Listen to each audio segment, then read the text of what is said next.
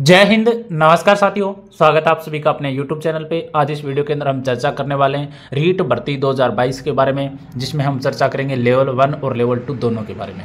आप सबको पता होगा कि लेवल वन के कुछ मूल पदों पे परिणाम है, वो बाकी रह गया था और मैंने पहले भी बताया था कि वो जारी होगा और उस टाइम चेयरमैन मोदी ने यह कहा था कि भाई रिज़ल्ट हमारी तरफ़ से जारी कर दिया। तब भी मैंने ये बोला था कि रिज़ल्ट है वो आपका आएगा, मूल पदों पर बाकी और इतने पद मैंने बताए थे। तो इसके बारे में हम चर्चा करेंगे, साथ ही साथ लेवल टू के रिवाइज रिज़ल्ट के बारे में हम चर्चा करेंगे कि रिज़ल्ट कब तक आ सकता है और साथ ही साथ जो चयनित साथी उन पर क्या प्रभाव है, वो पड़ने वाला है। तो वीडियो को पूरा ज़रूर देखना और सभी साथियों के साथ में शेयर कर देना। चैनल को सब्सक्राइब करके रखना। हमसे टेलीग्राम ग्रुप से आप जुड़ सकते हो। तो देखिए दोस्तों, सबसे पहले हम चर्चा कर लेते हैं लेवल वन की, उसके बाद में हम लेवल टू की करेंगे। तो लेवल वन के मूल पदों पे परिणाम है, वो रह गया था तीन सौ बयासी पदों पे, लेकिन चेयरमैन मोदी ने बोला था कि हमने रिज़ल्ट पूरा जारी कर दिया था। उस टाइम मैंने वीडियो डाला था, आपने देखा भी होगा। मैंने बताया था कि मूल पदों पर परिणाम बाकी है, वो उनको जारी करना पड़ेगा। तो इन्होंने अब बताया है, अब भी अधूरा बताया कुछ आंकड़े। उन्होंने बोला है कि एक सौ सत्रह पदों पर तो हम परिणाम जारी करेंगे, लेकिन और बाकी पद हम रिक्त रखेंगे। इन्होंने ये बोला है कि पर आएगा, बाकी वैकेंट रहेंगे। ठीक है?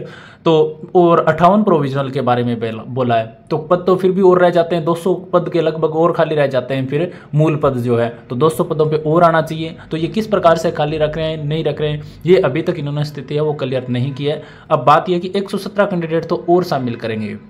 अट्ठावन प्रोविजनल वाले करेंगे। तो 117 घरों में और उजाला आएगा उनके अनुसार। और बाकी मांग हम उठाएँगे, आप सब है वो मूल पदों के बारे में लगातार बोलते रहोगे तो बाकी पदों पे भी इनको परिणाम है वो जारी करना पड़ेगा, क्योंकि ये तो 117 पे भी जारी नहीं कर रहे तो इन्होंने बोला था कि हमने तो जारी कर दिया है। तो एक सौ सत्रह पे ये अब कर रहे हैं अट्ठावन प्रोविजनल वाले हैं तो दो सौ कैंडिडेट को और इनको क्या करना पड़ेगा, परिणाम है, उनको जारी करना पड़ेगा। कुछ परिणाम है या हो सकते हैं कि कोर्ट वगैरह के चक्कर में रुके हुए हों लेकिन इनको परिणाम है, वो जारी करेंगे, वो 200 कैंडिडेट और रह जाएँगे मूल पदों में तो वो ज़रूर निश्चित रूप से जारी है, वो किए जाएँगे। तो निश्चित रूप से आप इसका इंतज़ार है, वो कर सकते हो, जो मामूली अंतर से रहें, उनका सिलेक्शन है, वो हो सकता है। अब देखो लेवल वन में एक चर्चा और थी, आपको पता होगा कि लेवल वन में जो भी नॉन ज्वाइनर और जो अपात्र कैंडिडेट है, उन सभी की जिला वाइज है, वो रिपोर्ट मांगी गई थी तो वो रिपोर्ट है, वो जल शिक्षा विभाग के अंदर है, वो पहुँच पहुँच जाएगी और पंद्रह दिन मेरे ख्याल से है, वो होने को है।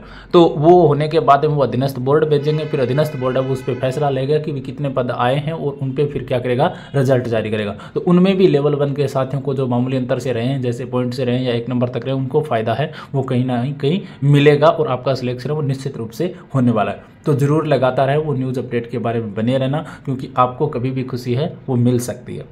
ठीक है, बाकी कोई भी आपके लिए अपडेट होगी निश्चित रूप से आपको हम अपडेट है, वो करवा देंगे। अब बात कर लेते हैं, देखो लेवल टू के बारे में। तो देखो लेवल टू के बारे में मैंने पहले भी बताया था, जब रिवाइज रिज़ल्ट के बारे में न्यूज़ आई थी तो मैंने बोला था कि पंद्रह अक्टूबर के बाद में ही कोई परिणाम जारी होगा। लेकिन बीच में चेयरमैन मोदी ने बोला कि हम परिणाम है, वो पंद्रह अक्टूबर से पहले भी दो तीन जारी करेंगे, लेकिन आप देख रहे होंगे कि वो जारी है, वो नहीं कर रहे, उन्होंने अब बोला है कि पंद्रह अक्टूबर को दो रिज़ल्ट है, वो जारी करेंगे लेवल टू के रिवाइज रिज़ल्ट के।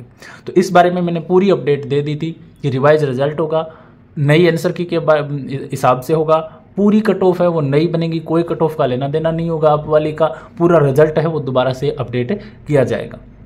अब इसमें देखो, जो चयनित साथी हैं, वो जो कुछ साथी बाहर होंगे और जो नए अभ्यर्थियों को लिया जाएगा, उनको उनकी जगह है, वो लिया जाएगा। अब चयनित साथियों के बारे में ये आप सबको पता होगा, चयनित साथी वो लगातार संघर्ष वो कर रहे हैं। कभी बीकानेर जा रहे हैं, कभी जयपुर जा रहे हैं तो वो अपनी तरफ़ से वो लगे हुए हैं। तो मेरा ये मानना है, देखो, दोनों के साथ में ही अन्याय ना हो। क्योंकि जो चयनित साथी अब चुन करके आएँगे नए तो उनके साथ भी न्याय होगा, कहीं ना कहीं अपनी तरफ़ से अच्छी मेहनत की, लेकिन क्वेश्चन में गड़बड़ की वजह से उनको बाहर रख दिया।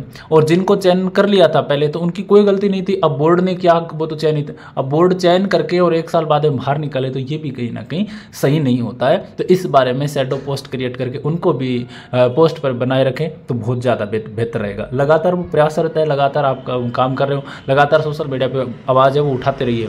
और जो भी आपका जो संख्या बल हो, उसके उसके आधार पर अपनी आगे मेहनत है, वो लगातार है, वो जारी रखिए। लेवल टू का देखो सॉल्यूशन चयनित साथियों को करवाना पड़ेगा ऑफ़ पोस्ट के लेकर। अभी तक इसमें कोई प्रतिक्रिया है, वो सरकार की तरफ़ से आई, नहीं आई है। ना तो बोर्ड अध्यक्ष के, अधीनस्थ बोर्ड के चेयरमैन साहब के पास में इस बारे में कोई भी पावर नहीं है कि वो आपके लिए ऑफ़ पोस्ट क्रिएट कर दे। सेडो पोस्ट क्रिएट करने का काम सरकार करेगी, सरकार इसमें कर सकती है। अब जब सरकार नहीं करेगी तो फिर मैंने बोला हुआ है कि कोर्ट में जाना पड़ेगा, अगर बाहर ही हो जाओगे तो। और मेरा ये मानना है कि थोड़ी मांग है, वो ज़्यादा अच्छे स्तर पर उठाइए, क्योंकि अब रिज़ल्ट जारी होने शुरू हो जाएँगे, फिर आपको बाहर भी होना शुरू कर देंगे वो। तो थोड़ा सा मांग है, वो अच्छे स्तर पे आप पे उठाओ। मैंने ग्रुप भी बनाया था, उसमें कोई पॉजिटिव रिस्पांस नहीं आया था, लेकिन मैं कहना चाहूँगा, मेरे चैनल जो भी भाई बहन है, अच्छे स्तर पे मांग उठाइए, आपके साथ में निश्चित रूप से न्याय होगा। तो लेवल टू की ये अपडेट थी। दो रिज़ल्ट वो पंद्रह अक्टूबर को आ रहे हैं और उसके बाद में दिवाली तक आप मान के चलना कि काफ़ी रिज़ल्ट है, वो आपके आ जाएँगे। ठीक है?